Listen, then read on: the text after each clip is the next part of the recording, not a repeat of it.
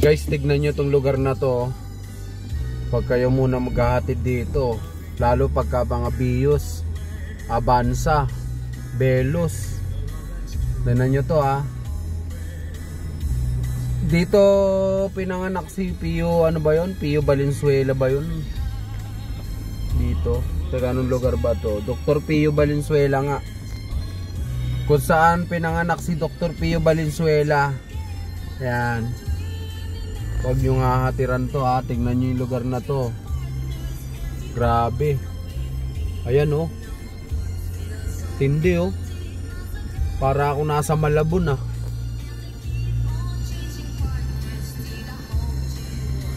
Yan, grabe. Pahirapan pa lumabas. Ang dami pang mga nakaharang.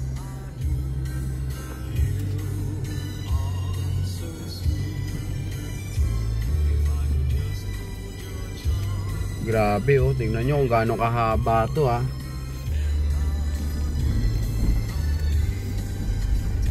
Pa- Para ako nasa sapa eh oh. Parang ilog eh. Namamangka na tayo dito guys oh. Dr. Pio Valenzuela. Ay ay ay.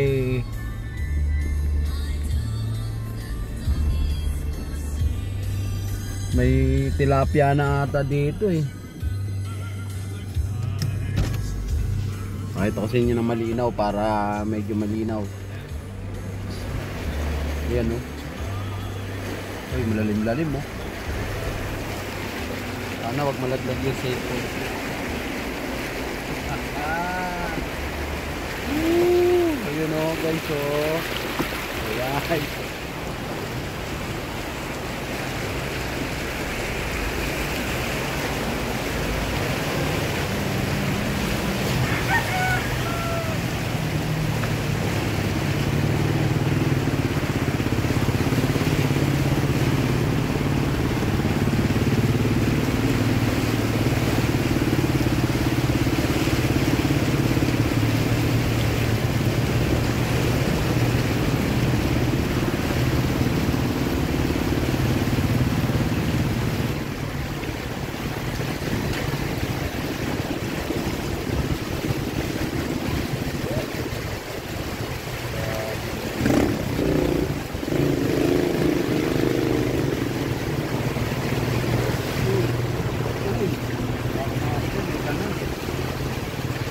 Doggy, oh, kawawa naman si Doggy.